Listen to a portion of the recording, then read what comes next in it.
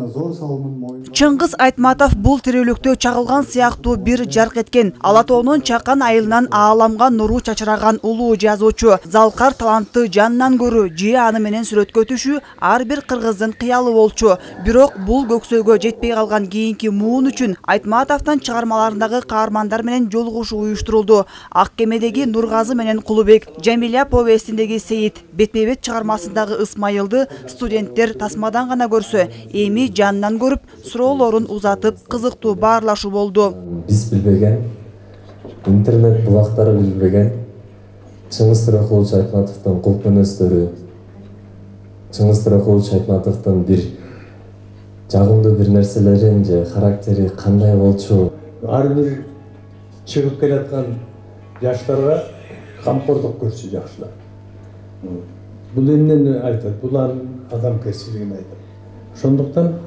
бүт дүйнөгө таанытты кыргызды ошондуктан чыкем азыр деле жашап атат деп ойлойм да. Сизди ошо ак кемедеги нургазы боюнча таанып билип калдык да анан. Сиз андан кийин эмне себептен киного тартылган жоксуз кино тартылгандан кийин жылдыз оорусу бар.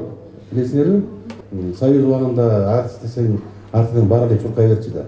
Булар ар биринин доорунда ушундай болчу да анан кийин азыр жылдызды мен түшүнбөйм ал кандай жылдыз белгилүү деп коюп эле жылдыз болуп калабы вот ошондой жылдыздар болчу мына естественный айтматовдун дээрлик баардык чыгармаларында махабат баяндалат чындыгында окурмандарынын жүрөгүнө жеткен ал махабаттар ой кыялдан гана жарала калган эмес. Анын чыгармалары дүйнөнүн жүздөн ашуун тилине которулуп эң көп нускада басылып чыккан. Борбордук азия университетинин студенттери да айтматовдун чыгармаларын калтырбай окушат. Кызыл жоолук жалжалым деген чыгармасы мага абдан жагат чындыгында ошону үч тилде окудум. Ар бир тилде окуганда ар кандай эмоциялар жаралат.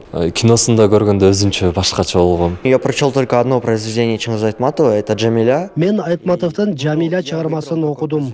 мага жакшы чоң таасир калтырды. Чынында повесттин мааниси аябай терең экен кыргыздын залкар калемгери чыңгыз айтматов тирүү болсо быйыл токсон беш жашка толмок тилекке каршы өзү тирүү болбосо да улуу жазуучунун өз чыгармаларында түзгөн миң сырлуу ааламы ар бир атуулдун жан дүйнөсүндө жашап келет. Мен дагы жанагы бакайдын жайытындагыдай малчынын үй бүлөсүндө туулуп өскөм. Жанагындай балалык жанагы тоо шартындагы нерселердин баары мага тааныш. Мен ошол өзүм ошол калктын жанагы бакайдын турмушун бала кезимде өзүмдүн ата энем менен дагы сезип жашап мага тааныш да чыңгыз агайдын баардык чыгармаларынын дээрлик көпчүлүгү баары прототиптер да өзүнүн айылында бала кезинде болгон окуялар. Ошону көркөмдөп жазылган.